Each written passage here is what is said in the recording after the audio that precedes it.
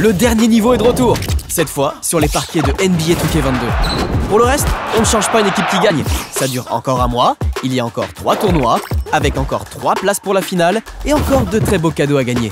Mais surtout, il y a encore un boss à affronter. Et ce mois-ci, le boss, c'est Yann. Pour participer, rendez-vous sur le Competition Center ou sur l'onglet Tournoi de votre PS4.